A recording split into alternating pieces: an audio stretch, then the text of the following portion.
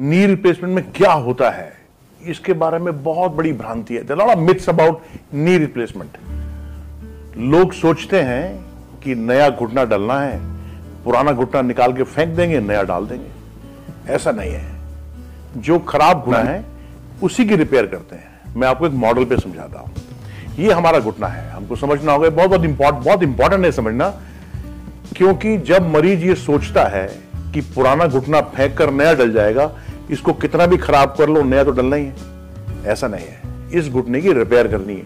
Operation से पहले बहुत खराब नहीं करना है। सो ये घुटना है पहली भ्रांति या पहला मिथ। तो मैं ये दूर करना चाहता हूँ। हम बोलते चिकनाई कार्टिलेज। चिकनाई तेल या ग्रीस नहीं इसमें भरी हुई है। चिकनाई एक परत है कि लेयर है। That is most important so the most important structure in the knee for walking is cartilage. Cartilage की एक लेयर है। अब उम्र के साथ साथ या बीमारी से ये कार्टिलेज घिस गई तो घुटना घिस गया। सो क्या हुआ घुटने में? हमारी कार्टिलेज घिस गई, हमारी कार्टिलेज चली गई। ये कार्टिलेज है, ये ये सफ़ेद पोर्शन है कार्टिलेज है। समय के साथ साथ ये कार्टिलेज घिस जाएगी, खुरदरी हो जाएगी और घुटना पेनफुल हो जाएगा, ये। अब हमको घुटना थोड़ी चाहिए, हमें तो कार्टिलेज चाहिए, हमें चिकनाई चाहिए। कार्टिलेज की लेयर को डालने को ही नी रिप्लेसमेंट कहते हैं। ये पूरा घुटना नहीं डलता उसके अंदर। सो कैसे डलती है?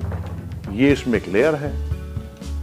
सो एक पतली लेयर जो कि करीब 9 मिलीमीटर थिकनेस की होती है, वो एक कैप की तरह बोन के एंड पे लगा देते हैं। तो ये जांगवल है डियर फीमर ये टांगवल है dear tibia so you put cap at the end of femur at the end of tibia and then you put a plastic separator that's knee replacement So knee replacement in actuality is knee repair. You have to put a cartilage layer, that's all. It is very simple thing.